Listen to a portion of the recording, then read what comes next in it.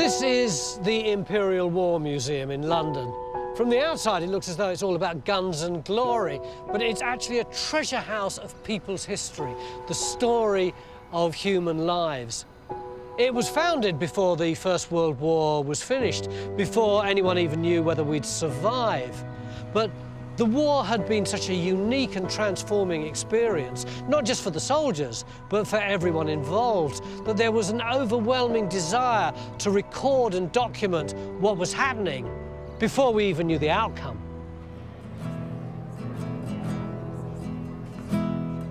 The museum was built so anyone who lived through the war should be able to recognise their contribution in the collection. As for the soldiers, they'd unwittingly provide the museum with its most powerful exhibit their words.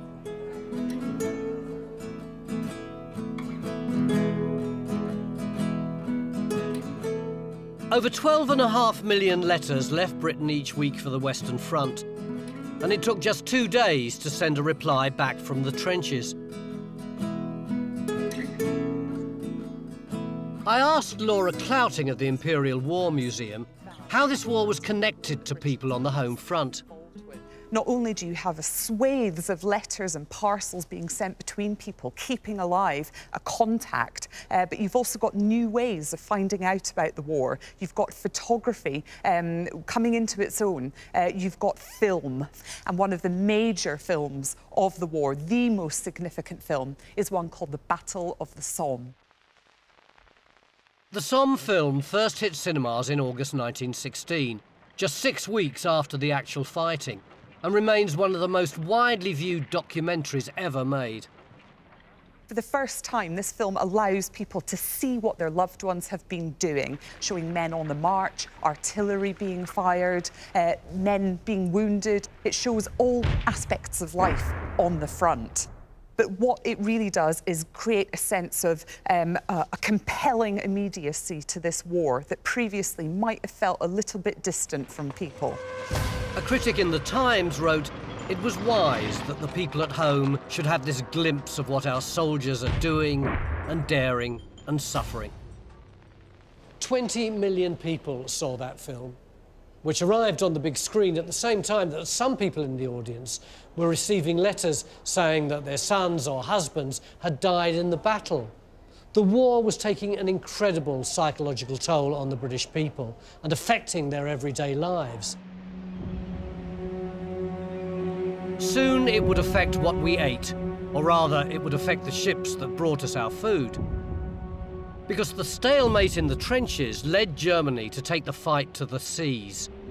Before the war, they'd invested heavily in submarines or U-boats. Now, those machines were targeting merchant ships in an effort to starve the British into submission.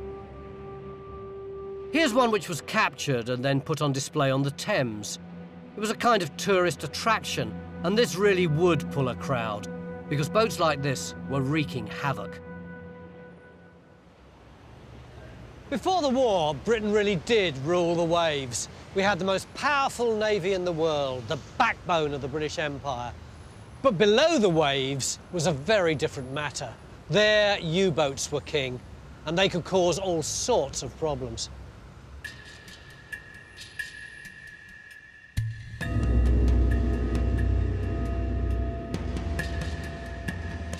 These were dangerous weapons, and they weren't little tiddlers either. Look at the size of this one, which was beached on the British coast. At the front of it, you can see two of the torpedo tubes that did so much damage. And if you look on the upper deck, you can see its formidable forward gun. It's a massive craft, isn't it? Just look at the people in relation to it. Now look at this picture of a few U-boats docked together. This was taken at the end of the war, ahead of them being scuttled and put out of action.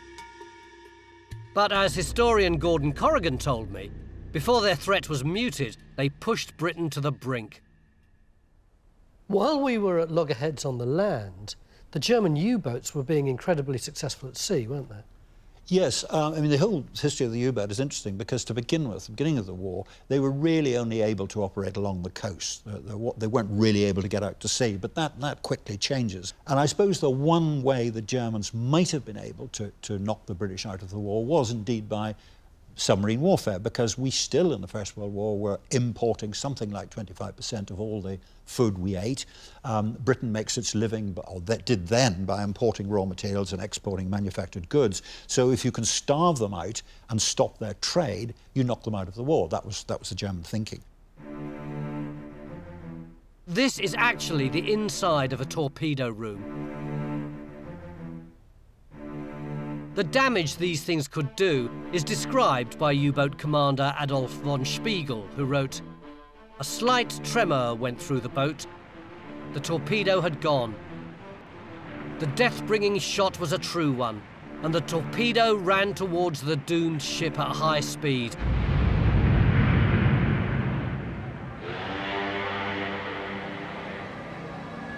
But one sinking changed the course of the U-boat war.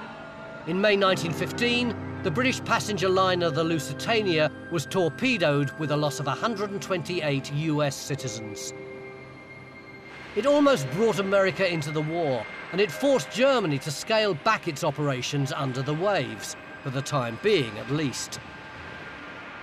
This gave Britain a brief respite, as well as an excellent piece of propaganda and another trigger to fire recruitment.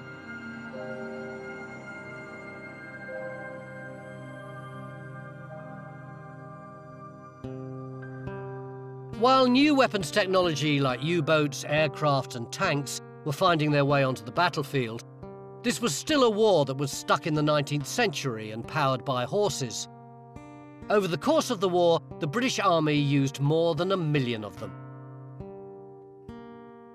They also used over 20,000 dogs on the Western Front, and they had special kennels behind the trenches like these. Some breeds were so in demand they were forcibly conscripted. Imagine that, giving up a family dog for the war effort.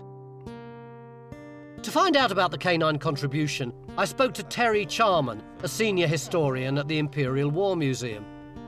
So they were essentially messengers? Essentially messenger dogs, yes. And a dog could go about three to five times faster than a human being. And keep well. lower on the ground. lower on the ground, yes. Uh, and their survival rate was much greater, of course, than, than uh, human messengers as well. It's reckoned that at the Battle of Verdun, the French sent, sent out 17 human messengers to get through with a vital message. All of them were shot by the Germans. None survived, but a dog managed it within minutes. So is that one of the military dog collars? That's one of the dog collars. And you'll see there that that's where the message would be placed in there. Do we have any idea which dog that belonged we to? We do, we do. It belonged to Tip, number 109 in Irish the register, terrier. an Irish Terrier. And his handler was Private J. Nicholson of the 10th Yorkshires. Did people treat those dogs with respect, or were they just thought of as expendable? No, I mean, looking, looking at the, the photographs in the museum's collection, sort of a strong bond of affection grew up between the, the dogs and their, and their handlers. What they did have to go through, though, was a very intensive training under battle conditions. What happened to Tip? Well, we don't know precisely what happened to him, but at the end, at the back of the register there, they do give the fates of some of the dogs, and Tip is okay. He survives the war. Yay. this 3D picture is fantastic. French medics trained this little dog to look for casualties on the battlefield and when he found a wounded soldier, he'd bring the man's helmet back to the stretcher bearers and then lead them to their injured comrade, hopefully to get treated and then put back on the line, because that was the point, wasn't it? We needed horses to pull wagons, dogs to deliver messages, but above all, we needed men to fight. And there were never enough.